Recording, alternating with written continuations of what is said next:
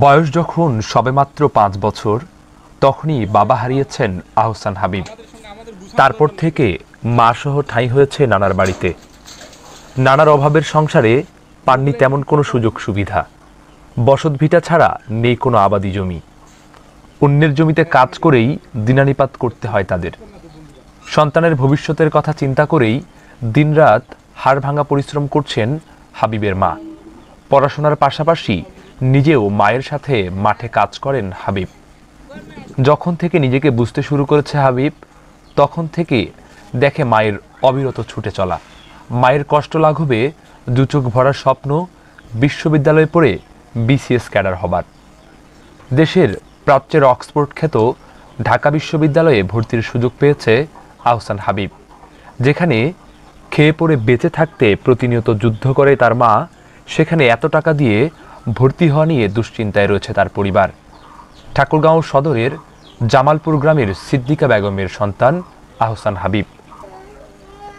হাবিবের মা বলেন হ্যাঁ এটা নিয়ে খুবই দুশ্চিন্তায় আছি আমি। মানে টাকাটা কোনো রকম ম্যানেজ করতে পারতেছি না আপাতত। আমার হাতে সেরকম অবস্থাও নেই। মানুষের বাড়ির কাজ কাম করে খাই। তার মতো কোনো ক্যাপাসিটি নেই। আর এই বাচ্চারা লেখাপড়া করছে কত সময় রাজমিস্ত্রির কাজ করছে মানুষের বাড়ি ক্ষেতের কাম করছে মরিচ গাছছে তারপর লেখাপড়া করছে আবার আমাদের সংসারটাও মেনটেন করছে। বাড়ির পাশে জামালপুর সরকারি প্রাথমিক বিদ্যালয় থেকে মাধ্যমিক প্রাথমিক জামালপুর উচ্চ বিদ্যালয় থেকে মাধ্যমিক ও ঠাকুরগাঁও সরকারি কলেজ থেকে উচ্চ মাধ্যমিকে জিপিএ পাঁচ পেয়ে ভর্তি হওয়ার সুযোগ পেয়েছে বিশ্ববিদ্যালয়ে। আহসান হাবিবের এমন অর্জনে যখন এলাকার মানুষের মাঝে প্রশংসার ফুলঝুরি, অন্যদিকে দিনরাত পরিশ্রম করেও টাকার যোগান দিতে পারছেন না তার মা। হাবিবের এলাকাবাসীরা জানায়, হাবিব আমার ভাগিনা।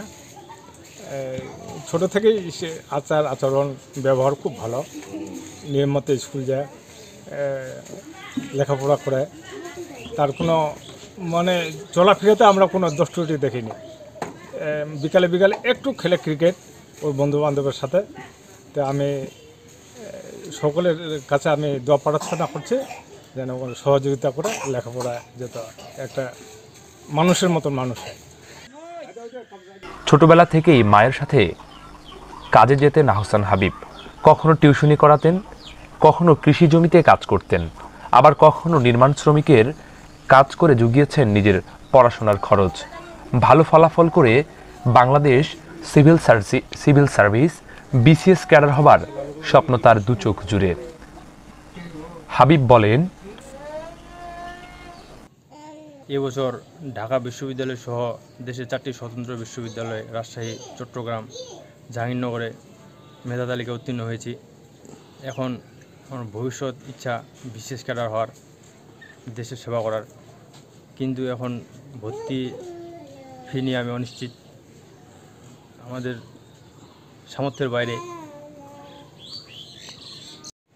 দেখা যায় আল্লাহর রহমতে যদি কোনোভাবে ম্যানেজ হয় তাহলে ঢাকা বিশ্ববিদ্যালয়ে ভর্তি হয়ে আমার স্বপ্ন পূরণ করতে পারব।